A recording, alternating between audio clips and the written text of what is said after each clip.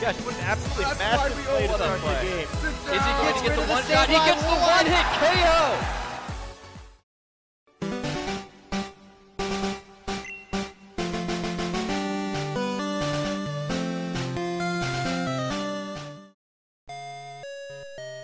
Hey everybody, welcome to Pokemon Feet, Pokemon facts, Easter eggs, and trivia.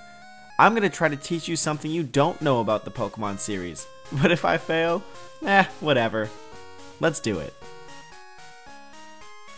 Perhaps in a strange throwback to their originals, the developers of Fire Red and Leaf Green included an anti-cheating feature in which hacking in a Mew to the game would cause the Pokemon to ignore every order you gave it, regardless of the amount of badges the player has.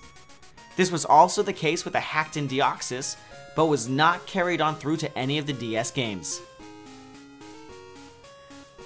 Be in Gen 1, have cut, use cut on tree, save on top of cut tree, restart game, become tallest man in the land. Junichi Masuda has a daughter named Kiri, who happened to have been born right before the Japanese release of Pokemon Ruby and Sapphire.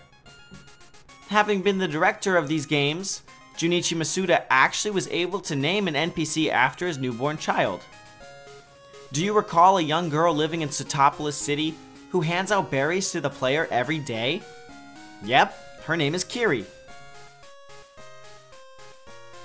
Pikachu's so freaking adorable. No wonder it ended up being Pokemon's mascot. But have you ever wondered where Pikachu's name comes from? It's actually a combination of the words Pika Pika, which in Japan is an onomatopoeia for the idea of sparkles, and Choo Choo, which is what the Japanese use to represent the sound of squeaking. So Pikachu is literally Sparkle Squeak, probably due to its electric typing and the fact that it's based on a mouse.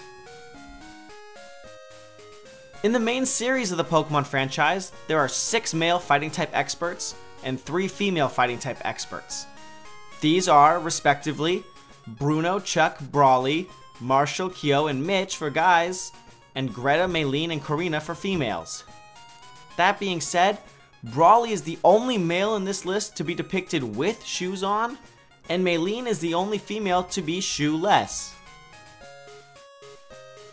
According to an interview with Yusuke Omura in Nintendo Dream, Chantal's theme is based entirely on black cats. She is referred to as being seen as a Nekomusume, which literally translates as cat daughter or cat girl, and the ribbon around her neck is shaped like a cat's head, with the brooch being the nose. If you're newer to the Pokemon franchise, you'd be surprised to know that prior to Generation 4, moves would either be special or physical according to the type that move was, instead of it being based off of the individual moves themselves. That being said, despite dark type moves being exclusively special before the split occurred, every single dark type move that had been introduced before Generation 4 was changed over to become physical for some reason. In the beta for Pokemon Red and Blue, Omanyte was referred to simply as S. S was a derivation of the French word for snail, escargot, which also happens to be the name of a popular restaurant dish based off snails. Yum. And to finish up this episode, let's kick on back to Generation 1 and an NPC I'm sure you're all familiar with. Remember Bill? The guy who created the Pokemon storage system that we still use to this day? Well, I'll have you know that the first Pokemon he ever caught was an Abra. Oh yeah, and he's lactose intolerant. Who knew? Hey everybody, thanks so much for watching this week's episode of Pokemon Feet. If you liked it, feel free to let me know with a like or a comment. Both of those are pretty freaking amazing. And if you think you could put up with me again, maybe even hit that subscribe button. I don't know, optional, but it'd be pretty cool. Anyway, thanks so much for watching this week. I hope you guys learned something, and I hope to see you next time on another episode of Pokemon Feet.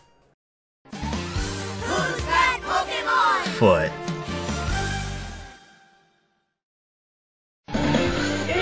Mamoswine! Mamoswine! Foot.